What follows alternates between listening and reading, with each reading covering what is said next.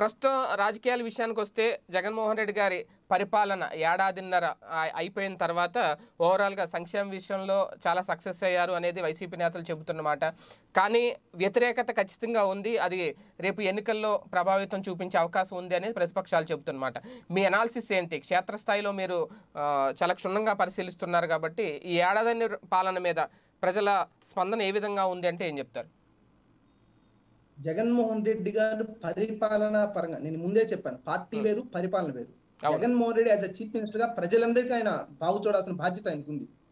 మేము పార్టీ పరంగా మొన్నటిదాకా ఆలోచించాం కానీ జగన్మోహన్ రెడ్డి గారు ప్రభుత్వాధికారిగా ముఖ్యమంత్రిగా తన బాధ్యతని నూటికి నూరు శాతం తన కర్తవ్యాన్ని నెరవేర్చున్నమాట ప్రతి ఒక్కరు చెప్తున్నారు ప్రజలందరూ. ఎవరు కాదనడం లేదు నూటికి నూరు పాలు సంక్షేమాలు ఎన్ని కార్యక్రమాలు మన కళ్ళకు కనపడుతున్నాయండి. సాధారణమైనటువంటి ఒక గ్రామీణ ప్రాంత పిల్లల భవిష్యత్తు కోసం నాడు నేడు ప్రోగ్రాం పెట్టి మీరు చెప్పండి చిన్నపిల్లల ఓట్లు ఉన్నాయా? చిన్నపిల్లల ఓట్లు లేవుగా? వాళ్ళు ఏమైనా రేపు పొద్దున్న జగన్ గారు ఓట్లు వేస్తాడు అందుకనే పెద్ద కావాలని చేశాడు ఈ ప్రోగ్రాం పెట్టాడు అనడానికి లేదు. ప్రజల భవిష్యత్తుని దృష్టిలో పెట్టుకొని వాళ్ళ పిల్లలకు మంచి భవిష్యత్తు అంటే విద్యను అందిస్తే భవిష్యత్ తరాలు బాగుంటాయని ఒక మంచి ఆలోచన. ఇవే కాదు అమ్మ ఒడి కానీ ఇలా చెప్పుకుంటూ పోతే ప్రతి పథకంలోనూ జగన్మోహన్ రెడ్డి గారి ఆలోచన చాలా దూరదృష్టితో ఉన్నాయి.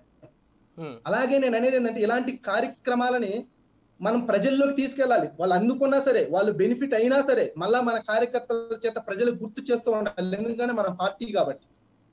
మన సేవా సంఘం కాదు పార్టీ కాబట్టి మనం ప్రజలు మన ద్వారా మంచి జరిగినా కూడా మన కార్యకర్తల ద్వారా ఆ నియోజకవర్గ ఎమ్మెల్యేల ద్వారా ఆ మండల న్యా- నాయకుల ద్వారా మనం చేసిన పథకాల గురించి ఒక నెలకో రెండు నెలలకో మూడు నెలలకో ఒక సభనో లేకపోతే ఏదో ఒకటి పెట్టి మేము ఇది చేస్తున్నాం రాబోయే కాలంలో ఇది చేయబోతున్నాం అని చెప్తూ ఉండాలి.